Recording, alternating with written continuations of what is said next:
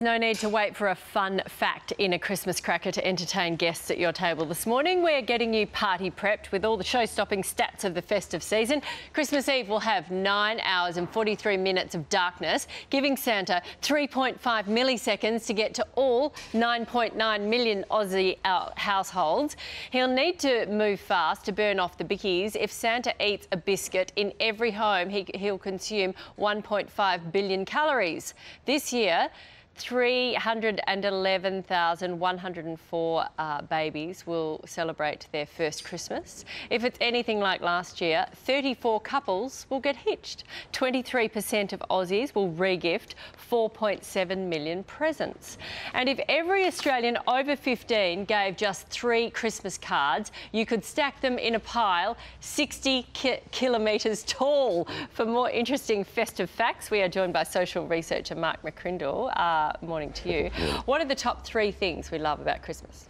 We found in this research, look, Australians love this time of year. They love the carols, they love the lights, they love the holidays, of course. But yep. the number one thing they love is time with family. Uh, that came in very strongly. They love the food. That was the second on the list. And just the festive mood. Just It's a special time of year. It's got a feel to it. And uh, that's what they loved as well. So weather plays a big part on Christmas Day. What do the stats tell us? Well, we looked at all of the data on this and it's fascinating. A lot of kids aren't allowed to get up on Christmas morning until it's light. Uh, the good news for kids in Brisbane is that the sun rises at 4.51 a.m.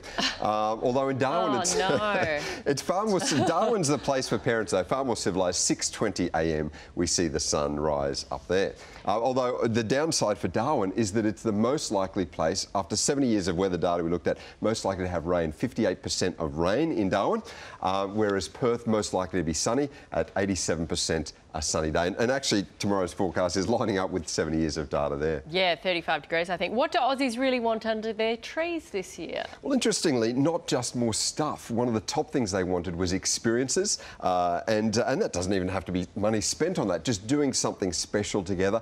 But of the things, technology came in as a strong uh, number one. That's uh, we, we, love our technology here in Australia. And we want more. That's interesting. Uh, 4.7 million presents will recirculate this year. How do you get that information? Who's owning up? well, we asked Australians what they do with unwanted presents, how often they get them, and we found that almost one in four Australians will take an unwanted present and rewrap and uh, recirculate. So if every adult uh, received a dodgy present last year, based on those regifting stats, that's about 4.7 million that'll recirculate this year.